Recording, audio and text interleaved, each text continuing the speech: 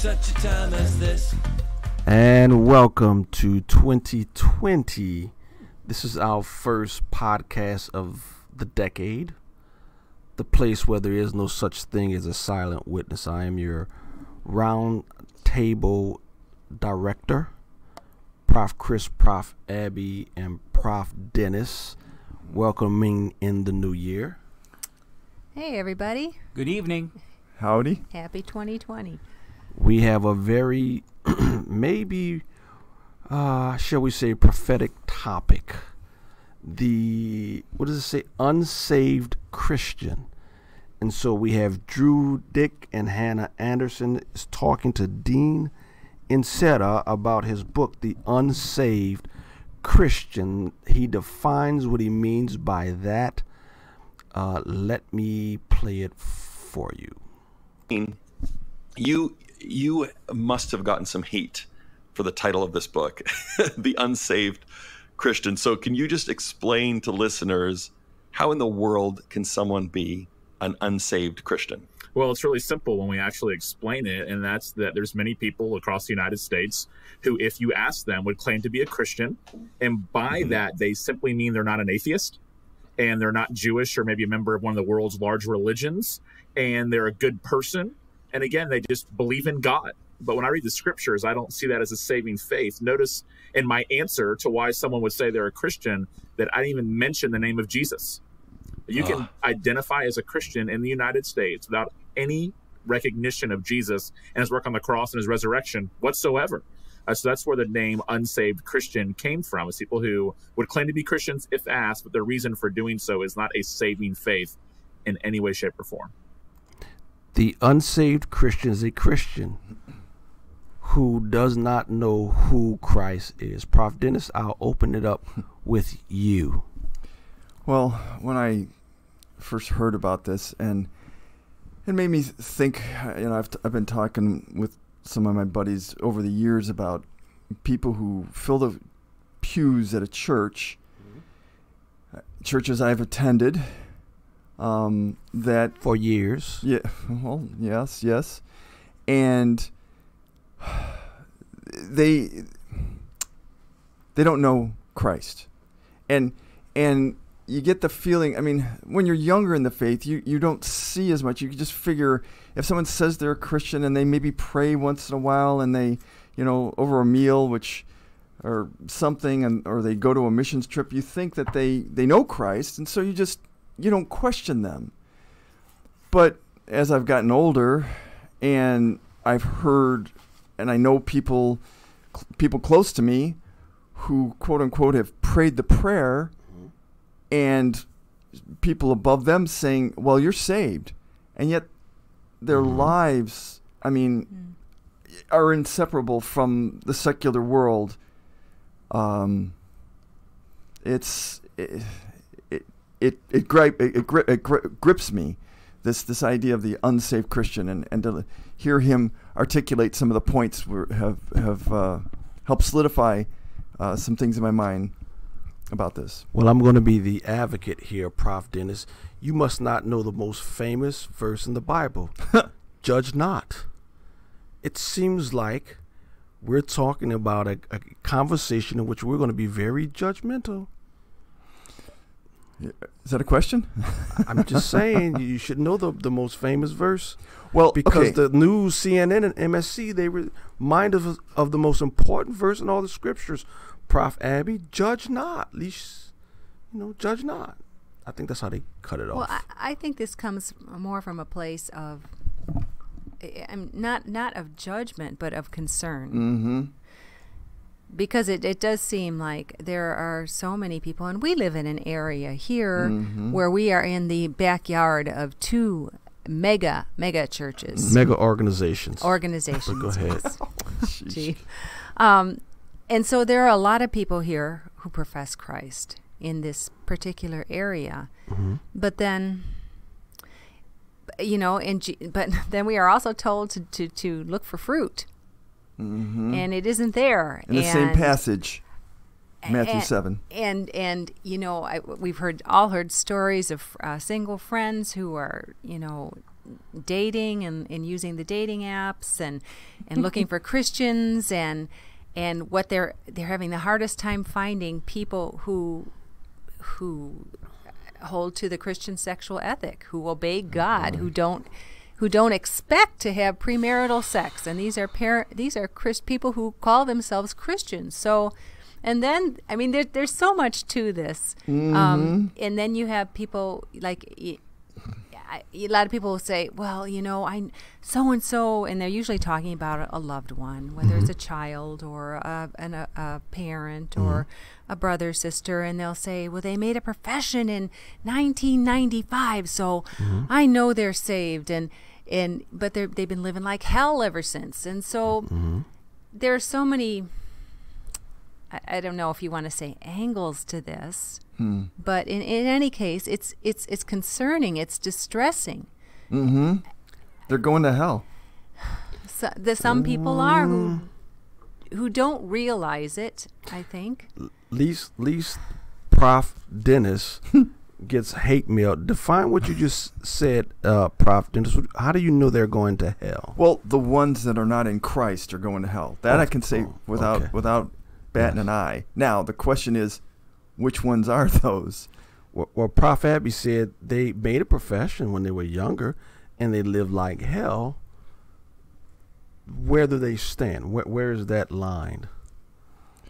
Well, as as this author said, and, and I will I will concur with. I'm not the judge. I mean, I'm not the final judge. Mm-hmm. but but there are more than one time in the New Testament where we're told we can there are indicators of where people are at in Christ Mm-hmm. or not you know uh, Chris said earlier about you know before we got on the air he talked about wolves in sheep's clothing you know so it, it, it talks about the Holy Spirit in us is you know communicates with the Holy Spirit in someone else. I mean, I, I am not quoting that verse quite right. Uh, hopefully, I'm not making it up either. But uh, Mhm. but there's a communication. I mean, uh, and and not that that's the all end all, but if Where's Yes. that line though? What about the person who goes to church every Sunday? Where where's that line? Where is it? Because again, Prof. Abby talked about there's two mega organizations that meet on Sunday morning in our area, and those pews are full. How Well, they used to be. there's, there's, there's still a lot of them going there. You're right. Not maybe not as much. Where is it? What do we say to those people who say, "But I go to church every Sunday and I give lots of money to the church"? Wh- wh- What, Chris, what I can mean, we say? I mean, I can hog this whole time if, but I want to. let I don't know if Chris. Prof. Chris, you, you want to jump in? Yes. Remember, um, and I I had to look it up. I apologize. In 1 Corinthians 5, Paul comments the church not to associate with sexually immoral people. That's a judgment. Um, Mhm. Expel the wicked person from among you. That's judgment. Um, so, not Christians should should judge other believers, but remember that we aren't judging to condemn them to hell. No. That is God's mm-hmm. final judgment, right? Mm-hmm. But it is ju- we make judgments every day. Mm-hmm. We make we have to. That's just how people are. Not that we have to, but that's what we do. We make judgments. It seems in our politically correct culture, the Christians judging based on the truth and word of mm-hmm. God is judgy. but somebody who is leftist and woke, hey, I finally get to use that term. Oh, someone who's woke who judges that's not that's not wrong. And so it's a double standard. But remember in matthew right jesus says don't judge lest ye be judged yourself. But remember what he's telling us is when you listen when you when you read the rest of that verse and the rest of what that's is going on he says when you look at someone else look at the log in your own eye before you tell someone to take the speck out of their own eye. In other words make sure that you've resolved and you've come to me or Don't come be to a Christ with your hypocrite. sin before you with love point out the sin of somebody else make sure yours is or that you're being repentant for yours Yes. right Yes. and so yes we are to judge but we are to judge with love and humility and that's the whole point of, of how we are to act as christians is to love but speak the truth we we do judge. We are expected to judge, but do it with love and with humility to Christ, knowing there's a freight train of judgment coming. Oh yeah. And here's what you need to do to get right. Now, if they still turn and call me crazy or call us whatever they want to call us, I'm not going to react to that. But at least I know I've done what I was asked to do, what what the Lord and the Spirit has done in my heart to tell people. God has a way for you to be saved. And if and I can't make people listen, right? Mhm. But I can definitely I can definitely control how I respond to somebody else and how I um, don't veer from the truth, right? But what we're seeing with this unsaved Christians, uh, boy, it just it just reminds me so much. Second Timothy four, where the people will look for preachers who tickle their ears instead, where they will abandon the truth, right? Mm-hmm. And that's really what this is all about: abandoning the truth to appeal to the culture. There's a second clip when Mr. Drew and Hannah were they were interviewing Dean Inserra, who uh, Dennis, you say was a, a pastor in Florida. Yeah, he's a book, pastor in, in Tallahassee, Florida. and he and he, he the next clip is he tells a story of when he's speaking to one of his friends, and one was going to Northern uh, California, and one was going to the Bible Belt for a mission trip. Let, let's listen to the clip. Yeah, I had a moment of what I call missional insecurity. Missional insecurity is kind of like when you're when you're in high school and all your friends are going to Haiti to work in an orphanage for spring break, and you're going to Panama City, and uh, you know in Florida. And so that's kind of how I felt. I felt like he was going to an orphanage for a spring break, and I was like going on a cruise. That's how I really felt because he was going to Northern California, and I was going to my hometown, which is only about ten miles from the Georgia border and about a less than hour drive to Alabama. So much Bible Belt element in this area of North Florida where I'm from. So I just mentioned that to him that I admired what he was doing, thought it was really great. He was taking his family out to Northern California, so secular, not a lot of churches. And he cut me off and said, What do you, man, what are you talking about? He said, Where you're going in Florida is more difficult than where I'm going. And I'm not here to debate which place is more difficult because I think the enemy is everywhere and everywhere is hard. It just looks different. But I looked at him, I said, What do you mean? And he said, Where I'm going in Northern California, there's very little confusion about who's a Christian and who is not. Mm. He said, Where you're going, there's so much confusion. Everyone thinks that they're a Christian. It's almost like you have to get someone lost, he said, in order for them to actually be saved. There's no clear starting point here.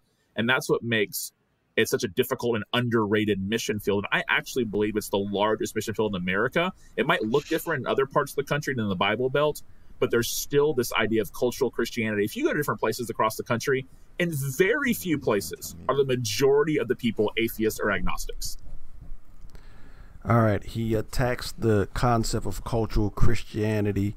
He attacked the Bible Belt. I'm, I'm, I don't like him doing that, being as I am from the Bible Belt. Um, but anyway, what do we have to say about that? He he says this. Not sure I quite agree, but the biggest mission field is actually in the Bible Belt. What say ye? Well, I don't. I don't necessarily agree or disagree. He doesn't cite a fact or a study or, and and I think it could just be hyperbole. Is that the right word? Where it's he's trying to show us that um, it's easy to see where, in San Francisco, for example, um, people who do not are not Christians, a lot easier to see and and separate from those who are believers, from an area where everyone claims to be believer, but. And, and I've been in churches in the South um, where I, I ask after several weeks, when, when are we going to talk about the reason that Christ came to earth? You know, a, a, pa- I I love I love Paul Washer. Every pastor should bring it back to Christ crucified, our redemption and our redeemer. That that if you tell a story, bring it back to that's why we need a redeemer. We are we are sinners in need of a savior. Christ came and saved us. There's nothing we do that, that gains salvation but the free gift of his salvation and the blood is his, the shedding of his blood on the cross. Every message should come back to that. Or Absolutely. if at the very end I've told this wonderful story about gossip and how it's sinful, that's why we need Christ. you know, something like that. You know, I, I and since this, uh, James kind of started with this a little bit, you know, uh, judge not unless you be judged, and I, I, I'm just going to read a quick couple verses out of the same chapter, Matthew 7, verse 15. Beware false prophets who come to you with sheep's clothing inwardly, but are ravenous wolves. You will recognize them by their fruits. Are, are grapes gathered by thorn bushes or figs by thistles? So every healthy tree bears good fruit, but the diseased trees bear bad fruit. A healthy tree cannot bear bad fruit, nor can a diseased tree bear good fruit. Every tree does not bear every tree that does not bear good fruit is cut down and thrown into the fire. Thus you will recognize them by their fruits. And I and I think that I mean that verse is I think it's aimed at, at leaders. It sounds like at least at the beginning of that. See, we we are we are to say, who do we follow? Who are we listening to? Who is teaching us? And I think yes, we absolutely have to exercise good judgment Why, with why would it regard be, to that. Why would it be just to leaders? Uh, just the first John part of the 15 that he the talked- first part of the verse he's, yeah, he's, he made it sound like beware of false prophets who come to you in sheep's clothing. But then they're coming with a message there, you, you know, which seems to me to be a, a little bit different, related, but a little bit different than what we're talking about here, because what we're talking about here are people who, and and and not just cultural Christians, because I mean, there's there's a lot of that. I I mean, my family is. There are quite a few in my own family, Every and they don't even know what they're they're missing. There's Mhm. although scripture is i mean scripture is read in their church and I, I when i went to that church it was the catholic church and i used to hear just not from the homily because nothing of value was ever preached from the homily in the homily but from scripture itself i think what does that mean once in a while or oh i'd remember a verse and think oh that's kind of scary You're So- talking about mainline churches. well uh, well i'm talking about the catholic church in this well, point even further away, the, the Catholic Church. But I'm not going to let you all off the hook with the few minutes we have left. It's easier to look at the Catholics or the mainline. Right. No, but what I but but I I also wanted to say there's also this the hyper grace movement, right? oh yeah, That's Where- easy. You know, it is opposed is can Jesus be your savior Well, without same being your. Lord? I I mean, mean, there really, are it's the- tons well, the and end is the tons of people who believe that. mm-hmm. It's, Tons. it's yeah, but it's it's two different. Um, Is it I think it's two different groups. I, I think the group that he's aiming for okay? are the people who sit in Bible teaching churches and still are lost. Well, well, he in the other video Mhm. that I that you guys probably didn't watch that I but You're he- correct. he he was going to church every day of his life. He said till he was 13. He went went to some conference. Old old school, you know, you know, uh, just as I am's played a, hundred times, and he he accepted Christ then. And but he said as he was going up to, you know, the altar, he was angry. He was saying, "I've." uh, He's 13 years old. I've never heard this in my church. Even though the church he was going to, uh, you know, I, he didn't specify what kind it was. It was a Christian church. His whole family went there. But he says he was mad because he hadn't heard the gospel. Hmm. That's what I was going to say because sin and repentance Yep. is so seldom preached now. Well, now, now and nowadays, and yes. discipline. yeah. Church discipline is because we have lost that. So the people think there there is no standard. It doesn't matter how you live as long as you believe. And what they're talking about is believing. Having faith is just an intellectual belief. It's not trust. Faith is really trust, and that is the essence of that is just lost. And it's- I think it- in it- most of our churches, at when- least up here. But when you have that I trust, when you have that faith, it cannot not show itself. Right. I mean, there's got to be evidence. I mean, if there's no evidence, then it, it can't. I mean, how, logically, rationally, reasonably, is it real? Is it really there? If there's not some outward expression, yes, there are baby Christians and they grow. Sometimes they put sh- baby Christians put to shame the quote unquote mature Christians with their faith as they I, stumble I don't and think that's share. true. I, I don't think that's true. Well, I mean, there are some. There are some baby Christians. I don't think that's true. I think Some. a lot of people that we say are mature Christians, Oh, well. just because they put their butt in the pew Well, for yeah. 20 years, don't make you a mature Christian. A baby Christian, by definition, can't outshine a mature Christian. Do, do you Oh well, saying? okay, I see. What, okay, maybe there. Yeah, but but even but even some of the mature Christians, I think, sit on their laurels, and and One, you can't go further than that. Well, a okay, mature okay, Christian okay, wouldn't okay. sit on his uh, laurels. maybe I'm maybe I'm thinking of the wrong kind of mature You, Christians. you are talking about old Christians? Okay. That's what you're talking about. yeah, not necessarily Okay, mature okay. That yes. actually makes better sense. Dennis. Thank you. I'm sorry. Yes, Old I, Christians I, versus I sit corrected. I sit corrected Because corrected. someone young can be mature. Absolutely.